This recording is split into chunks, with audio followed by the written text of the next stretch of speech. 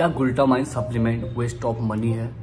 क्या supplement company आपको बेवकूफ़ बना रही है? तो गुल्टामाइन का पूरा सच आपको पता चलेगा इस वीडियो में। तो ये वीडियो पूरा देखना।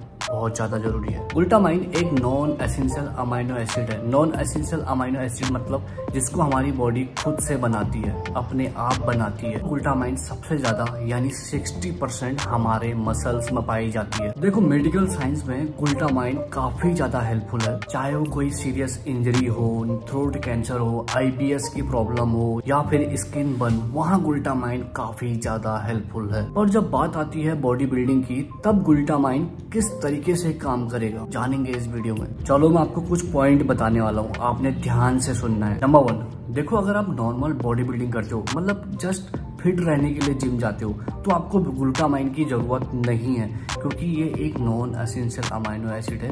आपकी बॉडी अपने आप बनाती है, और जो आप फ़ूड खा रहे हो ना, उस फ़ूड से आपको सफिशियंट अमाउंट में ग्लूटामाइन मिल जाता है। नंबर टू अगर आप वे प्रोटीन ले रहे हो, आपको बिल्कुल भी ज़रूरत नहीं है ग्लूटामाइन लेने की। अगर आप एक्सट्रीम लेवल की बॉडी बिल्डिंग करते हो, तब एक लेवल पे ग्लूटामाइन आपको हेल्प कर सकती है। पर मैं ये नहीं बोल रहा ग्लूटामाइन आपकी एक्सरसाइज को 40 से 50 परसेंट बूस्ट कर देगा।